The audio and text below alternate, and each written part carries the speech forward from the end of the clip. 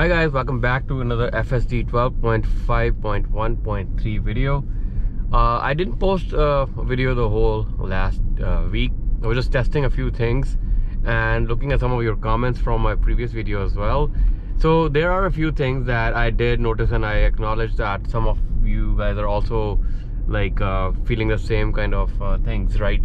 Uh, braking, especially when you are approaching the stoplight, um, and it's about to turn red right? It's a little bit abrupt. That's what I've noticed right? So I thought like it was a one-off kind of thing but I've noticed it a few times even yesterday as well. So that is something which was not there in the 12.3 version. I know there's another update coming up in a few days so hopefully they will address that. But we'll drive the car on a different route today and see if anything uh, else is gonna come up or unexpected thing that we're gonna see. But as like uh, you know I've been testing and you can see from these videos as well like it works pretty much fine. There are no like issues at all pretty much other than some of the minor things that I mentioned. And I'm driving on local roads and we'll try to go to a state highway too. Uh, if you're here for the first time please consider subscribing. Your um, you know subscription is like totally free and it really helps the channel grow. Um, this is a fairly small channel so I try to post regular videos and make updates about FSD and like some other stuff around cameras and like all all like you know those kind of good things. So let's see what we're gonna find today. And uh, your comments like play a big role in uh, me learning the FSD uh, as well and like you know providing you more scenarios and different use cases based on the feedback. So keep it coming guys. I really appreciate that. And you know uh, it really helps me uh, to you know improve my content as well. So so far we have hit a few stop signs and uh, the car did not make any mistakes. It's doing just fine. Uh, by the way on uh, from my FSD uh, settings point of view I am on the aggressive profile and um, you know automatic set speed offset is on. Speed limit is 25 here. We are going at 29 as you can see uh, and 25 now. So with the uh, you know the automatic speed offset like the latest you know update which is the 12.5 stack uh, this thing really improved. It used to go over like 10 miles above the speed limit before.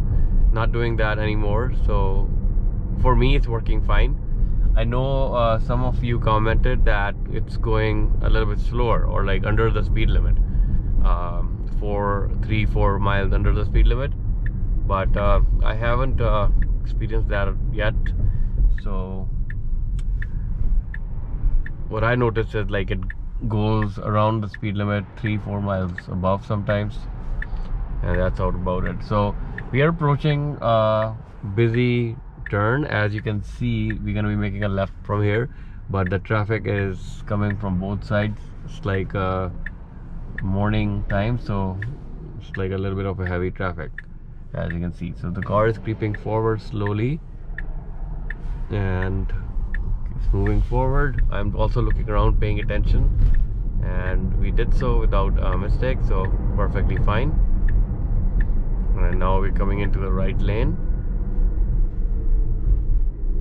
I hope uh, we come across a scenario where we are gonna have a stoplight which is turning red during this trip.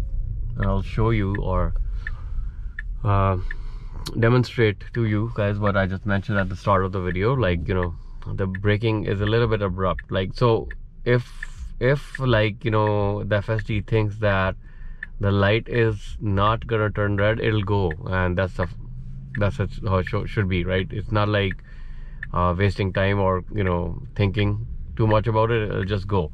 But if you know it have to stop and you're really close it is gonna do like a abrupt kind of braking so you gotta be careful and ready and make sure that if there's somebody behind you just put your foot on the pedal uh, or like be ready to take over right uh, just in case. So just letting you know that's my observation so no issues at all. We made the turn. And just turn the air on as well.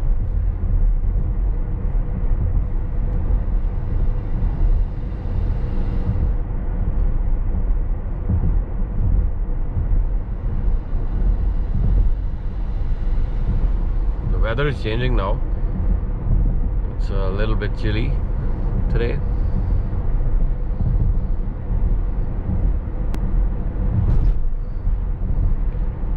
So we are gonna go on to like again this kind of road and then uh, we'll hit the highway as well. So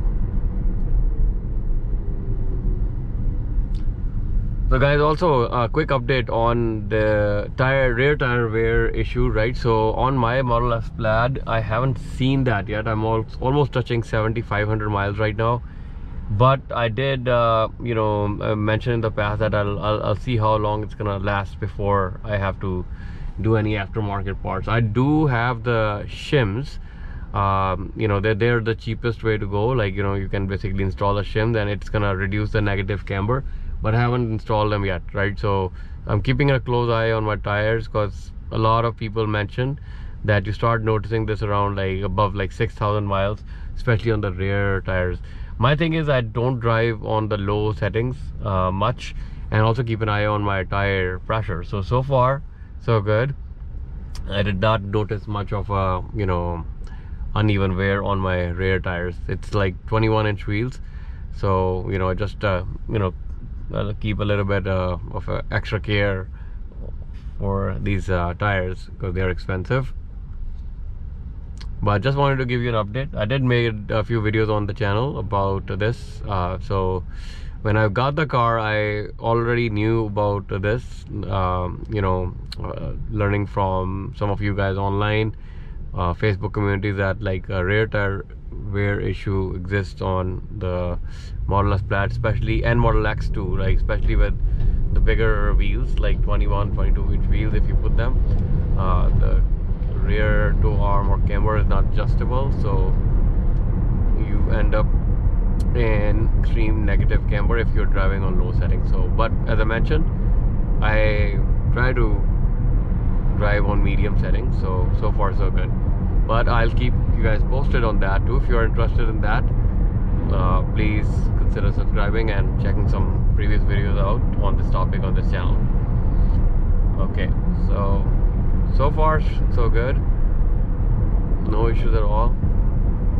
So as you can see this is a green light right? So if it's yellow and it's about to turn red okay, eh, you know that's where like uh, that abrupt braking that I mentioned uh, a few times I've noticed that while using the FSD so this was not there in the 12.3 version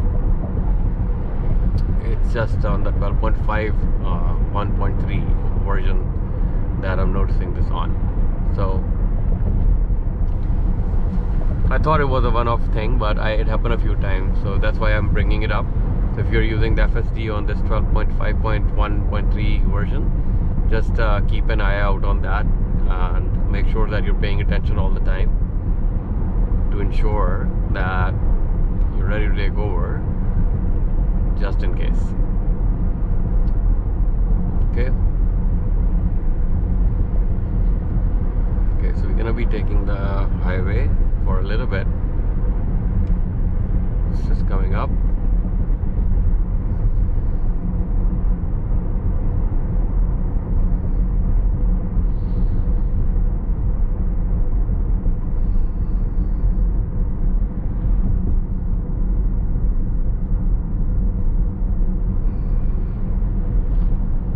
also like another thing that still needs to be improved is the pothole detection. There's still no pothole detection.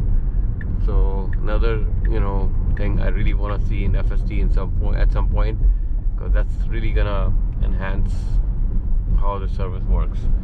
But you can see like I haven't like uh, done anything so far.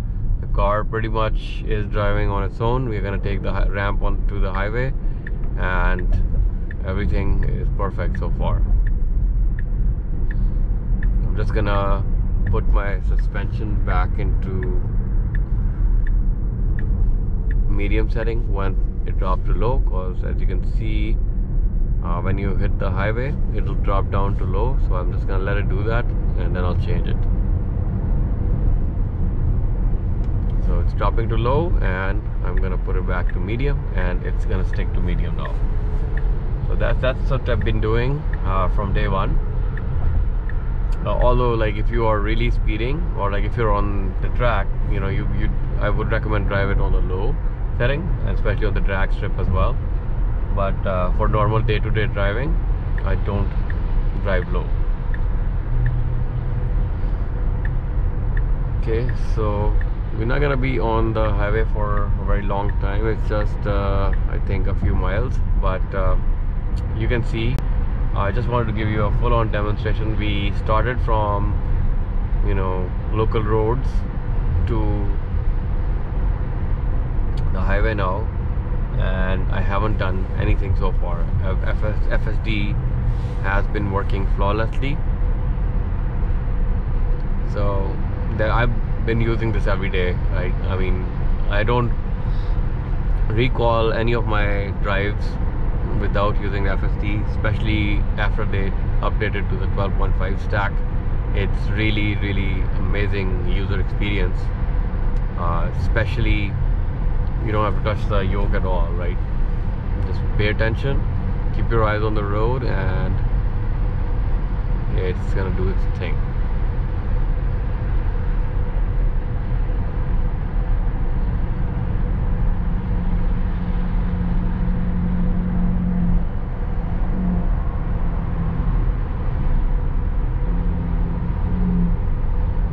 so I'm gonna change the directions a bit because it's going really far out so we don't have to go that far. Let me just change the directions.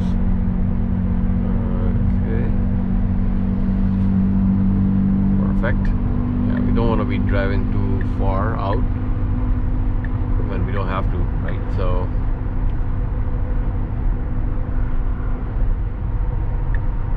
okay perfect. Uh, on the highway too it's work working really great as you can see uh, in the past it used to always stay in the far left lane. It's not doing that anymore. Uh, it just made that change now but it was sticking to the middle lane uh, oh, sorry the far left lane before. So something that also I think improved in this version. And then automatic offset you can increase that too. You can see when you're on the highway. So it's gonna go a little bit faster. And look at this now, it's turning and coming back into the middle lane. Awesome.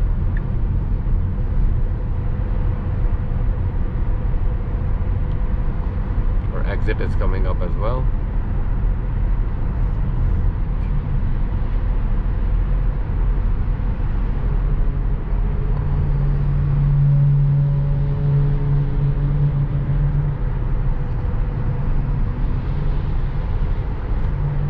I the speed to 75 but automatic set speed offset is working amazingly well. It is picking up the speed based on the traffic patterns and everything. And look at this now it's taking the exit here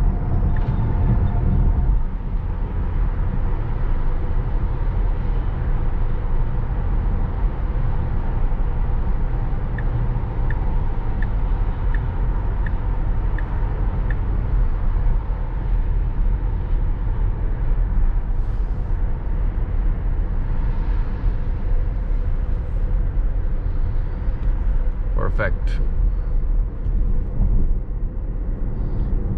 guys look at this. It's so good. Amazingly well. Okay so we're almost there. I am just gonna grab some coffee from the Dunkin Donuts here. And just wanted to make a quick video to show you guys my drive today.